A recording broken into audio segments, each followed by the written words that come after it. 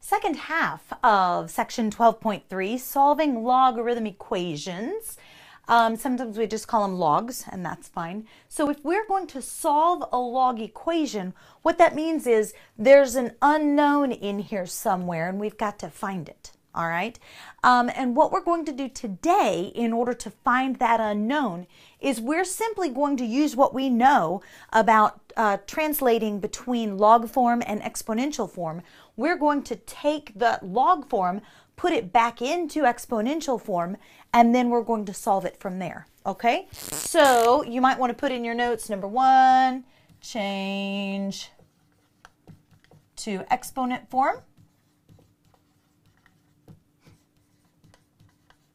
And then number two, you're going to get like bases.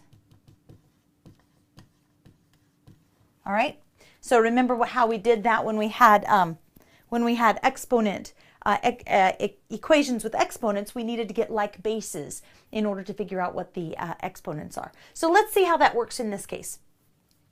So uh, if we're going to change this log, log base b of 16 equals 2, we need to work around our base is b. Our exponent is the answer, remember. Our exponent is 2, and that's going to equal 16. So now in this case, we've got something squared equals 16. Well, in order to solve that, you know to get rid of the squared, you're just going to take the square root, right? Yeah, so that one's easy.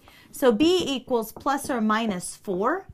Now what you do need to know is that the base of a log cannot be negative, so this b must equal the positive 4. Okay?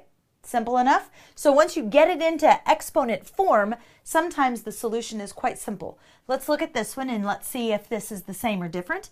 We've got base 3, and the exponent is y, and that's going to equal 1 over 27.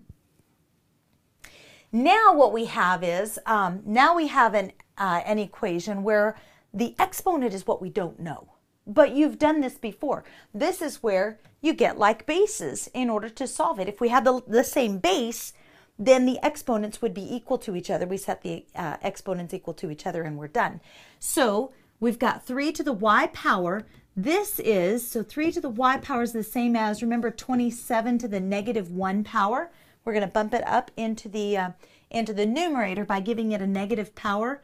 And you know that 27 is 3 to what power? 3 times 3 is 9, and 9 times 3 is 27. So 3 to the third power, and because this is a negative one, it's 3 to the negative 3 power equals 3y. So now you know y equals negative 3, and you're done. That one was quite simple. All right. Now you might say, oh, but we couldn't have a negative before. The difference here is what the unknown that we were looking for in this case was the exponent. An exponent can be negative. The base of a log cannot be negative. All right. So that's why this one could not be negative, but this, this answer can be negative. All right. Let's do another one. This one's going to be a quick, a quick uh, lesson also. So 25 is your base. 25 to the 1 half power equals x. Well, that one is simple because you've got all, you've got x on on uh, on one side of the equation by itself. So 25 to the 1 half power. Now what you have to do, what we're doing is we're putting all of the different things that you've learned together into one lesson, all right?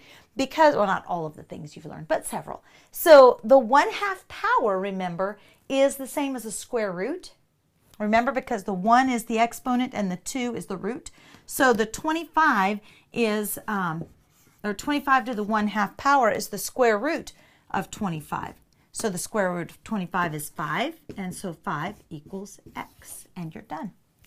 So log of the log base 25 of 5 equals 1 half. So that's where your x is. All right, last one. One more, but it's a little bit more involved all right? In order to get, in order to turn this into a, um, an exponential form, you've got to have the log by itself. So this is a little bit like solving with square roots or with squared terms. You had to first isolate the squared term or the square root term and then undo some things and then solve again. So what you're going to do is first you're going to solve for the log itself and then change that into the, uh, the exponent form. Let me show you what I mean. So the log is what you want by itself. So this 5 is extra, so you're going to need to subtract 5 from both sides. So negative 3 log base 2 of x now equals negative 7 minus 5. What is that? 7, 8, 9, 10, 11, 12. Negative 12. All right. And now this log is still multiplied by something. So you divide, just as if this whole log were just the x. You're going to get the whole log by itself. So divide by negative 3. And so now, because those cancel, now you have log base 2 of x equals negative 12 divided by negative 3. Negative divided by negative is a positive. 12 divided by 3 is 4. Now you can simply put it into the form that you know. 2 is your base. 4 is the exponent. Remember, the answer to a log is the exponent, and that's going to equal what you're taking the log of. So now you just need to figure 2 to the fourth power. 2 times 2 is 4. 4 times 2 is 8. 8 times 2 is 16. So x equals 16. And you're finished. You can do this. No problem at all. So I didn't put the first step is actually to get the log by itself. So pre eh, pre 1 Pre one is to isolate, isolate the log. After the log is by itself, then you can change that into exponent form and get like bases and solve for the um, solve for the unknown. And now you see that you can work, you can find the unknown no matter where it is. If it's the base, you simply take the root.